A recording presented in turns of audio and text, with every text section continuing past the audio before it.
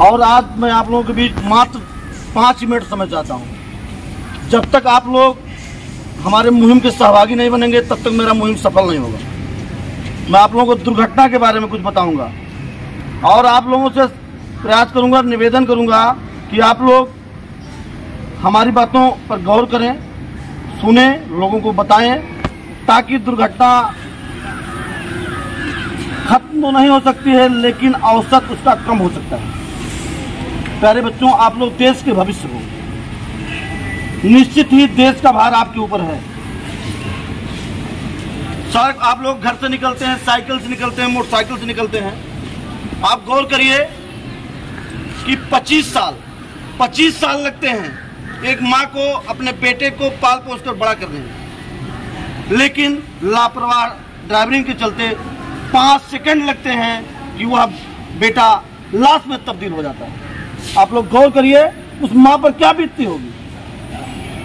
कि वह बेटे को घर से निकलते हुए उसकी पीठ देखती है, लेकिन लौटते वक्त उसका मुँह नहीं देख पाती।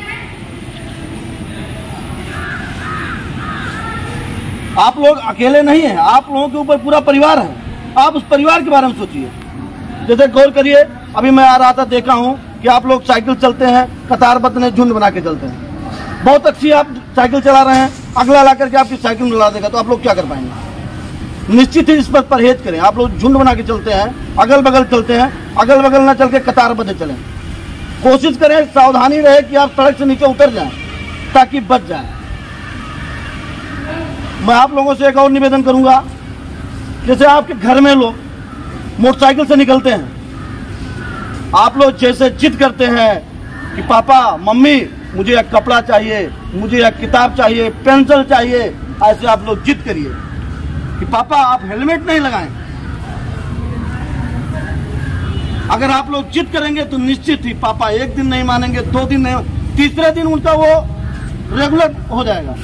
वो हेलमेट ज़रूर लगाएँगे।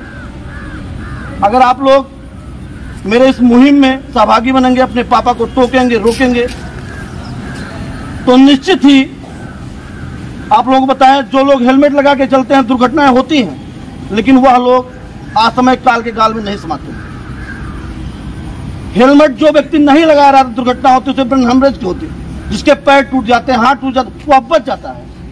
लेकिन जिसके शरीर पर खराश नहीं आती, उसके सर पर चोट लग जाती है तो उसे बचा पाना असंभव हो जाता है। लगातार दुर्घटनाएँ हो रही हैं, सरकार अभियान चला रही है, लेकिन सरकार के अभियान को ध्यान नहीं देना है। हमें आपको व्यक्तिगत पहल करनी है कि दुर्घटना कैसे रोकी जाए। जब तक हम आप पहल नहीं करेंगे, तब तक दुर्घटना पर विराम नहीं लग पाएगा। अगर इतने बच्चे हैं, मैं नहीं मानता हूँ सब सत पत्तर बच्चे मेरी बात मान लेंगे, लेकिन अगर इसमें 20 परसेंट, तीस परसेंट, चालीस परसेंट बच्चे अपने पापा को या टोक दिए, पापा, हेलमेट लगाइए तो निश्चित मानूँगा मेरा आना यहाँ सार्थक हो गया। आदरणीय गुरु जी हैं, इनका बहुत स्नेह प्यार मुझे मिलता है। ऐसा नहीं है कि मैं ही सब कुछ करता हूँ। आप लोगों के उत्साह के बदौलत, पुलिस प्रशासन की बदौलत, हम लोग प्रयास करते हैं कि गोल्डन आवर में जो लोग चोट खा जाए, उन्हें अस्पताल पहुँचाया जाए। तमाम बच्चियाँ, तमाम बच्चे भी चोट खाते हैं। हम लोग अस्पताल पहुंचाते हैं, उनके परिवार को सूचना देते हैं। आप लोग इस पर परहेज करिए और परिवार वालों को टोकिए। बच्चियाँ, अगर मान लीजिए उनको कोई कहीं कोई दिक्कत होती है तो छोटी छोटी बातें अपने पिता से, अपनी माँ से, अपने गुरुओं से शेयर करें। निश्चित ही आप अगर एक बार शेयर करेंगे, उन बातों पर विराम लग जाएगा, चाहे जिस तरीके की बातें हो।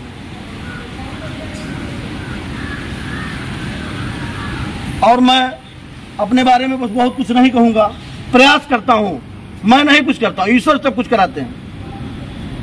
गाड़ी, हो सकता है उन्हीं गरीबों की बदौलत चल रही हो, जिनको मेरे द्वारा अस्पताल पहुँचाया जा रहा है। तो आप लोग प्रयास करिए।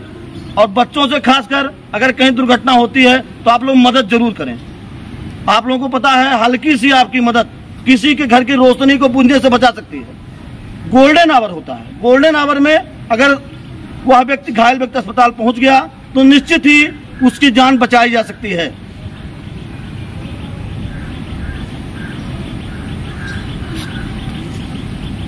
छो, छोटे बच्चे नहीं है ये सब छोटे बच्चे ही हैं। आप लोग जिद करिए अपने परिवार में। अगर आपके पापा भाई चाचा बिना हेलमेट के निकले उन्हें ज़रूर टोकिए कि पापा हेलमेट लगा के निकलिए। हेलमेट सुरक्षा कवच से कम नहीं है। मैं इन्हीं बातों के साथ फिर आप लोगों से मिलेंगे। हर कार्यक्रम में मैं आता हूँ, मैं भी यहीं का लोकल हूँ। और गुरु जी का स्नेह प्यार मिलता है। बहुत बहुत धन्यवाद।